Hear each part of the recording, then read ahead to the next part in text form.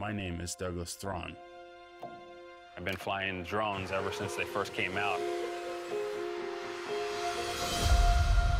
I'm using the drone to rescue animals.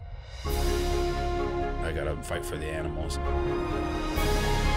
Witnessing the people when they get their animals back, it gives you an incredible feeling to be a part of something like that. Doug to the Rescue.